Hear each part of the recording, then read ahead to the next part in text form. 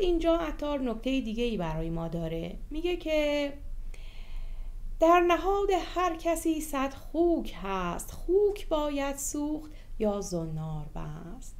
خوک نماد نفس اماره ما هست. خوک های زیادی ممکنه که در وجود هر انسانی باشه. خوک تمرکاری، هرس، حسادت، قدرت طلبی، جاه طلبی خوک های مختلف زیادی هست. عطار میگه که یا باید این خوک ها رو بسوزونی یا برو زنار ببند. زنار ببند هم کنایه از این هست که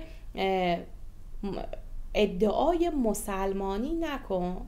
اینکه ما به زبان بگیم که من مسلمان هستم کار ساده ایه اما در عمل اینکه انسان مسلمان واقعی باشه کار بسیار سختیه. چون باعث که این نفس اماره رو بسوزونی یا حداقل مهارش رو به دست بگیری.